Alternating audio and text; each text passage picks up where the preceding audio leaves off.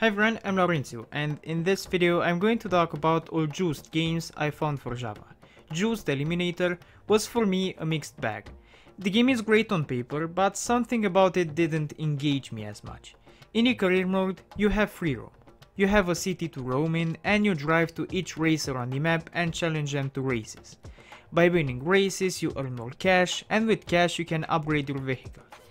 I have to mention here that upgrades are only performance wise. You can't put spoilers, bumpers, vinyls and so on on your car. The only aesthetic change you can make on your car is the color. While racing the camera is top down, similar to GTA 1 and 2. Problem is, if you play on an actual Java phone, no emulator, the cars are too tiny, which makes things hard. There's a lot going on on screen, but this time it's a double-edged sword the effects might steal your eyes. But if you play the game on an emulator, the small cars won't be that bothersome to you. Also, this game has some nice effects and plenty of details. The tracks will start to feel repetitive though at some point because you race in a city during the night. In the same city you free roam in. Which means that you'll drive on the same roads a lot and use the same tracks. That's usual in other racing games of this sort. Only that here, from the bird's eye view, the tracks give me the repetition sensation faster than in other games.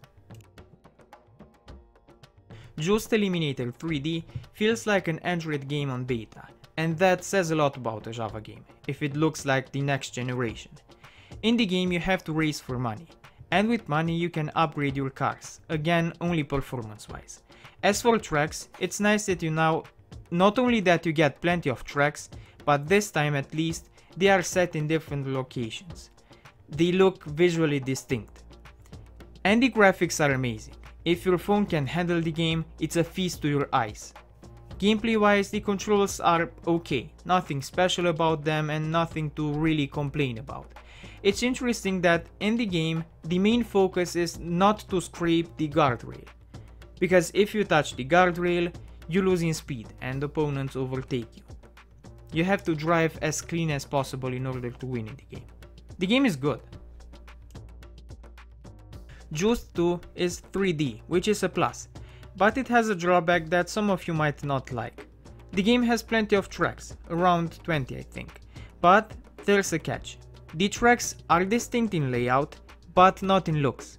All tracks look the same, no matter that you race in San Francisco, London or Japan, you're going to see the same buildings. And the tracks thus will feel the same. In cars you get 4, a decent number for a 3D racing game. And you can upgrade the car. Sadly, you can upgrade them only performance wise. Visually you can only change the color. The controls are good. In the racing department I don't have anything to say. It's a bummer that the game doesn't have tuned cars and more distinct tracks, because it would have been amazing to have those. Like this, the game is only good, but there are better 3D racing games out there. Also the game has a 2D version, which sadly has the same content and structure. It even feels almost like the 3D version, which is great for those of you who can't run the game in 3D. But sad because you still get the same looking tracks and only a handful of cars, which content-wise is really poor for a 2D Java game. But at least the gameplay, just like in the 3D version, is kind of outstanding. It's different from other racing games and different in a good way.